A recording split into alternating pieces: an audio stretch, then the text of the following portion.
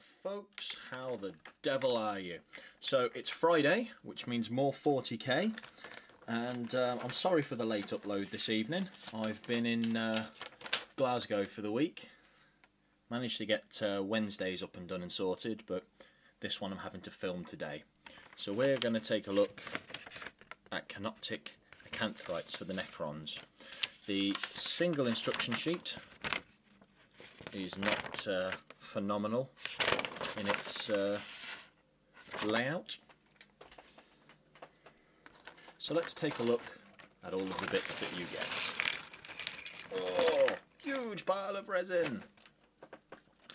Canoptek acanthrites, uh, acanthrites then, to give you a bit of fluff behind them. On your generic Necron Tomb worlds, everyone's asleep, and the systems are all maintained by the Canoptek constructs, which all look like bugs. So you get the Wraiths, you get the Tomb Stalkers, and, and, and the like. Um, this is a, a Forge World Canoptek construct that's uh, a, a, cross between um, a Wraith, I guess, and a Tomb Spider. They sort of fly around and mess stuff up. So, they're modelled very closely on locusts, which is very cool.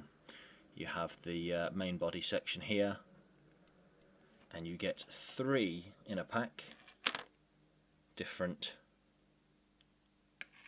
main body sections to give you three different poses and they all sit on these lovely ball joints. Now my experience with these ball joints so far has been iffy to say the least. If I pop that into there, mm, doesn't stay in too well so I will probably try and drop a magnet or something in here or maybe I might end up having to stick these onto their, their posts permanently but the ball joints I have issues with. So they come on the ball joints, you get the three different bodies, obviously three bases and a choice of four different, uh, well, four different uh, clear flying poles that you could use. Obviously two of them are going to be on the same height, whichever combination that you go for. Okay, these constructs fly around using these little hovering orbs. So, this side of it here fits into the holes on the back and they stick out to the sides. What I'd like to do with these is uh, get some clear acetate or some clear plastic and try and cut little wing sections to give them little energy wings. Again, you get three of these sprues for their um, levitating orbs or their wings, whatever you want to call them. One for each acanthrite. Three upper torso plates. So these, on top of here, go onto this section to give it a little bit more uh, oomph. And below there in the head, you get the three Canoptek faceplates. Now there's no variation in these, unlike uh, Wraiths where they give you the different faceplates that you can have.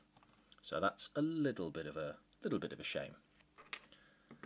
Might try and swap some Wraith parts out. They all have the standard Necron looking mandibles, very similar to Triarch Stalkers, very similar to Wraiths. They all have these sections and you get a goodly few varying sizes, varying poses to put down the side. Okay.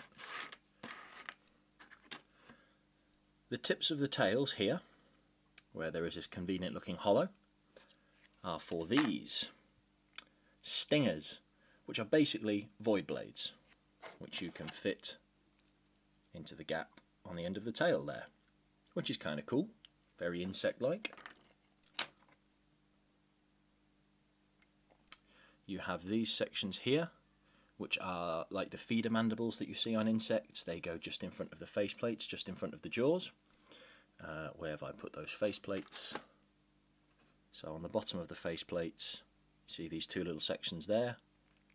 They fit in like that. And like that on the other side. Little feeder mandibles. And the final thing, which is I think the coolest thing about these acanthrites, I mean I know they look cool and everything, but the coolest thing about them is their weaponry. These are the only, the only things in the Necron Codex, I say Necron Codex, in your uh, Imperial Armour books for Necrons, that have the Melter special rule. Okay, heat beams, cutting lances. I can't remember the actual uh, stats for them. I just remember these are the only things the Necrons get with Melter. So fantastic for anti-armor.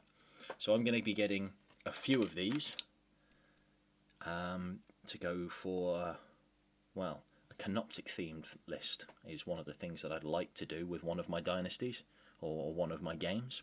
So lots of wraiths, lots of acanthrites, lots of crypteks in the royal court, and some very basic warriors just to fill the troops choice, tomb spiders and uh, scarabs, which I think could be a very, very cool but very, very fluffy list. And of course, as everyone here knows, I do like my fluff. So, Canoptek Acanthrites, big freaky looking locusts when they're built, and they should be pretty darn cool. Right folks, uh, that has been your offering today for your 40k Friday, short and sweet, and I will be making progress on some more bits and bobs to run you through in the near future. Stay safe folks, have fun, and I'll see you all soon. Bye.